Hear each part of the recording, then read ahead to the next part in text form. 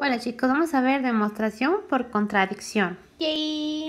Bueno, cuando queremos demostrar que un enunciado P es cierto utilizando contradicción, lo que haremos es ver, verificar que no P es falso. Para hacer énfasis en que no P debe ser falso el escribir que vamos a llegar a algo absurdo, algo terrible. Entonces nos vamos a enojar mucho con no P, pero vamos a estar felices porque habremos demostrado que P tiene que ser cierto. Pues bueno, lo que toca es ver un ejemplo. Vamos a empezar por leer bien nuestro enunciado, sea A igual a la sumatoria de A1 hasta AN dividido entre n, el promedio de los números reales A1, A2, bla, bla, bla, hasta AN. Y nos dicen, demuestre por contradicción que existe un i, o sea, un subíndice de estos A, tales que AI es mayor igual que A. Vamos a empezar con un ejemplo de esto. Recuerden, el ejemplo no es una demostración, pero nos ayuda a saber qué es lo que estamos persiguiendo demostrar. Entonces yo me considero A1 igual a 7, A2 igual a 5 y A3 igual a 9. En este caso yo consideré números enteros, pero pudieron haber sido cualesquiera reales. Y luego dice que A, A mayúscula, es la sumatoria de estos A's, o sea, va a ser A1, que es 7, más A2, que es 5, más A3, que es 9. Todo esto va a estar dividido entre n. ¿n quién es? Pues n es la cantidad de a's que tengo, o sea, de números. Un número, dos números, tres números. Entonces esto entre 3.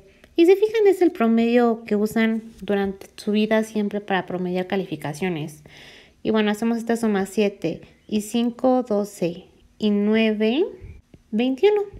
Y esto va dividido entre 3. 21 entre 3 me da 7. Entonces, bueno, aquí tengo que el valor de A es 7. Y lo que dice mi enunciado es que existe un subíndice I tal que I es más grande que el promedio. Y pues si miren, aquí A3, que es igual a 9, es más grande o igual que el promedio, o sea, 7. ¿Sí? Entonces va de nuevo, esto que es un ejemplo solo nos sirvió para visualizar qué es lo que queremos, ¿vale? Y ahora sí vamos con lo divertido, la demostración. Entonces nuestro primer paso es suponer que el enunciado es falso. Ahora nos toca negarlo. Para negarlo pues hay que agregarle un no en algún lado. El enunciado original dice que sí existe un i tal que i es mayor o igual al promedio. Nosotros vamos a suponer que no existe ahí tal que ahí sea mayor o igual que el promedio. Bueno, y esto significa que para todo i del 1 al n, ahí es estrictamente menor que el promedio. Acuérdense que la negación de mayor o igual es menor estricto, ¿ok?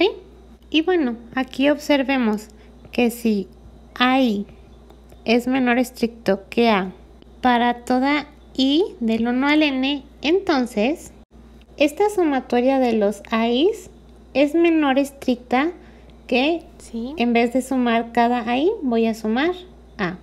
Y bueno, tengo n AIs, por lo tanto voy a sumar el promedio, o sea, n veces. Y bueno, si sumo a n veces, ¿qué obtengo? Pues A multiplicado por n. Y bueno, ahora vamos a recordar quién es A y a calcularlo. A dijimos es igual a las sumas de los A's entre N.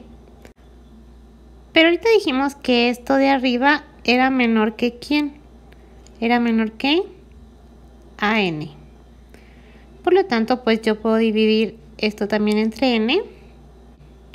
Y la desigualdad se va a cumplir porque dijimos que la suma de estos es más chica que estos y abajo estamos dividiendo entre el mismo número y ahora chicos, toca hacer la observación del año. ¿Quién es AN entre N? Pues es A.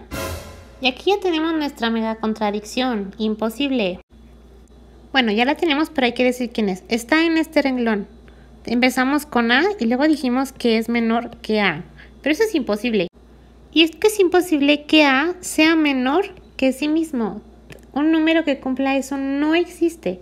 Por lo tanto, ya tenemos aquí nuestra contradicción. Por lo tanto, el enunciado no puede ser falso, se concluye que tiene que ser verdadero, cierto. Entonces, ¿ahora qué sigue? Pues que nos pongamos felices. Y bueno, también ponemos nuestro cuadrito ya que ya acabamos la demostración. Nos vemos chicos, espero les haya gustado.